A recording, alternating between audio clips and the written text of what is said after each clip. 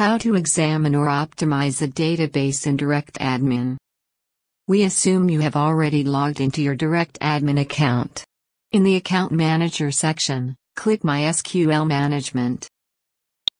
In this MySQL Management interface, you can create new databases or manage existing ones.